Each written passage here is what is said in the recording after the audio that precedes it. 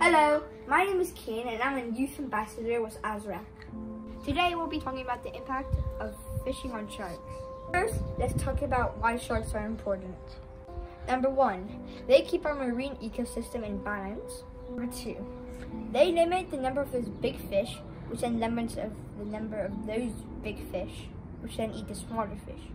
Number three, they eat sick fish, which can kill lots of fish in the beautiful coral reefs and make the coral reefs look bad. Now let's talk about why we kill sharks. Number one, 50% of the sharks are killed for the fins, so that's why we hunt them. For their fins, to make shark fin soup, and we also make them to put medicine, like to treat cancer and vision loss and swine flu. Talking about putting shark liver oil into a COVID vaccine to treat COVID-19. There are two types of shark fishing. Recreational fishing is when people go in a boat, they fish out a shark, and they take photos of it. Why is it a problem?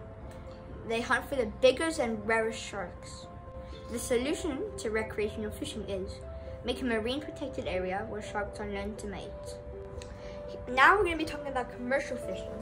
So it's when people catch lots of sharks to build lot, big amounts of money. So they kill plenty of sharks, like a whale shark, and then they make lots of money off it. It's really bad. Do you know how much sharks are killed this way? A hundred million sharks. Why is this a problem? We're killing sharks much faster than they can reproduce. Here are three solutions to make commercial fishing more sustainable. We should put limits on the sharks that are killed by commercial fishing. We should ban shark fishing with shark and with sharks that are on the endangered list and we should teach fishermen how to sustain um, fish for more sustainable fish like salmon and sea bass and cod. Here are three policies from the UAE about sharks and fishing. The UAE has placed a ban from March 2020 to um, July. This coincides with the shark spawning season.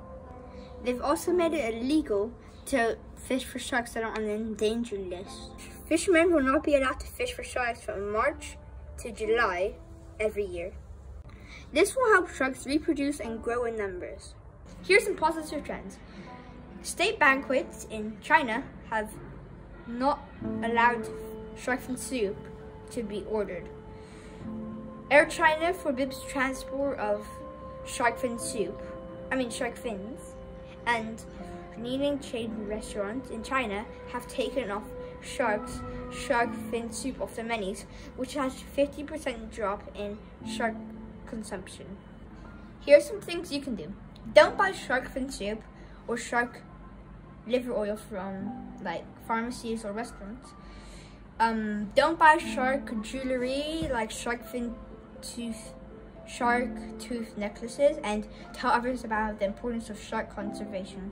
For more information about Azraq, visit azraqme.org. And if you want to watch more of my videos, visit Kiki Shark Show on YouTube. Thanks for watching Kiki Shark Show.